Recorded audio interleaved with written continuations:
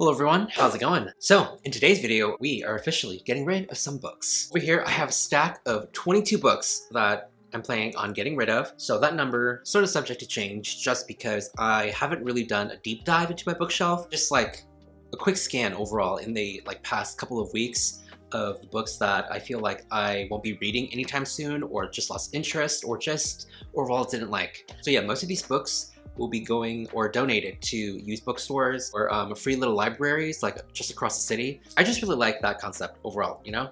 But before we officially start, I would like to give a quick shout to today's video sponsor, Bright Cellars. So what's really cool about Bright Cellars is that they're a wine subscription-based company founded by two MIT graduate students, which in of itself, the whole idea of a wine subscription service is just genius, okay? So um, for me, I'm sort of like a casual wine drinker. I like white wine over red, just a personal preference of mine. I really like it cold, sweet, and chilled. Best way to have it. How it all works with Bright Cellars is that you just go on their website and you take a 30 second quiz and there you just answer seven simple questions where it all sort of caters to your wine tasting needs. And on top of that, if you actually end up not liking the wine that you receive, Bright Cellars will actually send you a free replacement for your next box. It's also really easy, very convenient as every box is shipped right to your door. Also in each box, aside from the wines that you will receive, there's also these educational cards that'll tell you more about the wine, the ingredients, and what pairing works best for that individual wine. Another really great thing about Bright Cellars is that they're sustainable. The packaging that they come in and even some of the ingredients that are in the wine. So if you guys are interested, you guys can check out the link down below to get 50% off your first six bottle box, which in of itself is a really great deal because honestly, books and wine,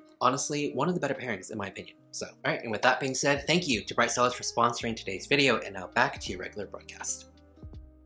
Alright, so 22 books for 2022. I feel like I'm gonna get rid of more books later on sometime in the future just because I want to make more room for my shelves. I mean, at this point, I barely have any room to begin with, and honestly, after moving like seven shelves full of books, is something I kind of never want to do again until I find a permanent home. Kind of just want to whittle down my collection in of itself because it's a lot of books, okay? 20 to 30 boxes, small boxes um, at that. It is just backbreaking to move, to say the least. Even though I do love the collection and I'm truly grateful, uh, even having the privilege to even own and you know cater to the collection of books um, that I have to begin with. All right, so we have a couple piles here. Um, most of these books are actually just YA, um, some thriller and horror books. I feel like I've read majority of these YA books, and a majority of these thriller books I've actually just lost interest in. I won't be going into too much detail regarding what each book is about, so not a lot of reasons there to begin with anyway. You know, there's just something really cathartic and soothing and just relaxing overall of just getting rid of a bunch of books, you know? Alright, so first off, The Road by Cormac McCarthy. This is actually my mom's book. um, she was actually like reading this book for some reason, some way or another. It ended up on my bookshelves. Probably because it was like the main source of books in our house at the time. Somehow ended up there and I don't even think my mom even finished it, let alone will even continue reading it. I do know that this was made into a movie with Viggo Mortensen and I actually never even had an inkling of even wanting to read this book. So therefore, it's just gonna go. All right, next up is Last to Die by Arlene Hunt. I actually remember picking this book up at a used bookstore, and this has actually been sitting on my shelves now for like almost three, four years now, and I feel like it is just continuously just gonna sit there until the end of time. So this one is about a school teacher who survives a school shooting and gets targeted by a serial killer because he views her as a challenge, as a conquest um, that he must conquer and kill. So uh, yeah, that's basically it. The next book is The Lovely Bones by Alice Sebold. This is one of those books where I actually cannot remember if I actually read it or not because um, I watched the movie like a really, really long time ago and I really, really liked the movie. However, for the life of me, I feel like even if I had read this book, it's like a fever dream. I don't remember reading it, like at all. I pretty much know everything there is to know regarding the story in this book anyway, um, so I don't really see myself reading it anytime soon. So next up, we have a trio of thriller books, all by the same author, all by Megan Miranda. The first one is All These Missing Girls with Perfect Strangers and The Last House Guest. I don't know, there was something about these covers that initially did intrigue me when I first got them. However, I actually never picked these books up aside from the fact that these covers sounded interesting. I don't even know what these books are about. Prior before filming this video, I obviously looked up each book, read the summary, and uh, safe to say, I don't think any of them are piquing my interest any longer. They pretty much all have like that same vibe, I feel like, with like a small town, a secret, a murder, some journalist trying to track down like their tragic past or something. So I've also looked at reviews and a lot of you guys were not kind to these set of books overall. Back in the day, if I had read these books as a newly seasoned thriller reader, um, I might have enjoyed and liked his books, but now, currently, I think I can safely say that I probably will not. So, moving on. So the next one is Every Last Lie by Mary Kubica. I've heard a lot of Mary Kubica's books. A lot of them seem to be more misses than hits in general, seen from all the reviews and all the ratings. This one has like a really low Goodreads score. I actually own another book of hers I'm called Every Good Girl, and I'm keeping that one because everyone is just saying the twist in that book is just so damn bad. It kind of piqued my interest on seeing why that twist is so bad. So I kind of want to read it. For this one, I feel like this is like your standard run-of-the-mill thriller, practically the same reason for the other set of books for this one as well. So, all right, next up is The Woman in the Window by H.A. Finn. Listen, I read this a while back, back when I was in college, and I extremely loved it. I feel like this was one of those books where the twist took me completely by surprise. I enjoyed the twist, I enjoyed the stories, I like the character, I really like the writing. The writing, I feel like, was just so fast-paced. And I remember reading this, actually taking this book with me in class and just sitting in the back reading this. I really liked it. I gave it like five out of five stars and just the nostalgic memories I had reading this book. But I feel like, you know, it's time to move on. And this author has done some really shady shit. And so far, to my knowledge, he hasn't written another book since. I feel like it's been five or six years now, unless he's writing books under a different name. Don't really have too much to say about this. Um, I also saw the movie for this one, and I actually prefer the book over the movie, but at the end of the day, we're still getting rid of this one. Next is Slade House by David Mitchell. Getting rid of this one because I actually already own a different copy of this book, and I actually prefer that version over this one. Even though this version does have like a really cool, um, like, what is it called? Front cover. I, I forgot what this is called. Embossed? I don't know.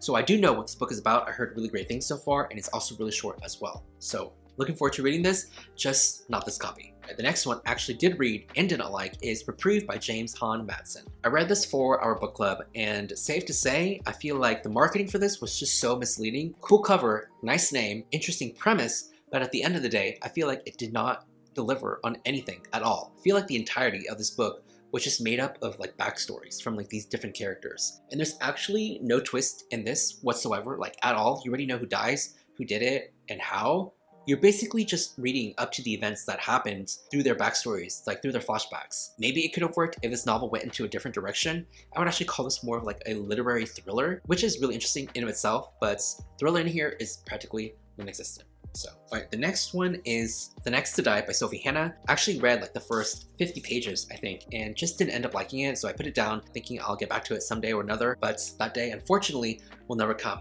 And seeing from all the Goodreads reviews and the rating this book has, it's a big yikes. Also, this is like book 10 in like a huge police procedural story that's in like London. I don't know, when it comes to UK thrillers or when it comes to like police and detective thrillers in general, those just don't do it for me as well as um, certain other types of thrillers. So, all right, the next one I actually had for a while, and this is The River at Night by Erica Ferencik. I actually remember this one because one, the cover stood out to me, and two, this is like one of the first thrillers or new thrillers that I actually bought like a while back, but I actually never ended up, you know, reading it for whatever reason. So this is one of those books where you read the summary and you think to yourself, oh wow, that sounds great. And then like three, four years later, you read it again and you're like, hmm, maybe it does sound great anymore. So therefore, unhauled. Next up, I'm getting rid of Meddling Kids and Supernatural Enhancements by Edgar Cantero. I saw these books at a used bookstore and picked these up initially because of the covers. The covers themselves, I mean, honestly, this one is okay. I mean, this one is good, but this one,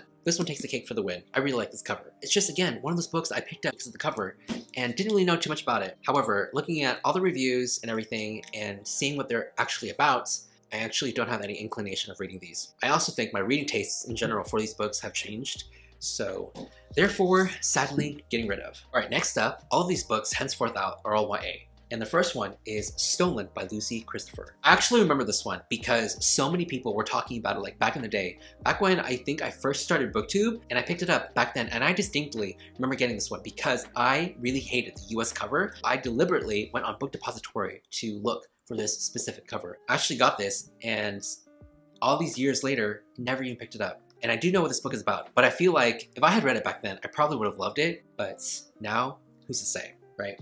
Next is The Fault in Our Stars by John Green.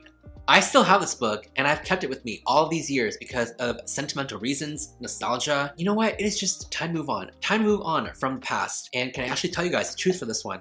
I gave this one, I think, like four, five stars. I can't really remember. I think if I had to give it a rating now, I think I would give it like a two or three star. I feel like reading it back then, I didn't fully get the hype that this book got or why people loved the characters so much. They were so pretentious when I first read this. Like, I don't know how many years ago it was. And I actually remember reading this at my Catholic church in one sitting um, on the grass, just lying down at a homeschool gathering and just pushing myself to read this.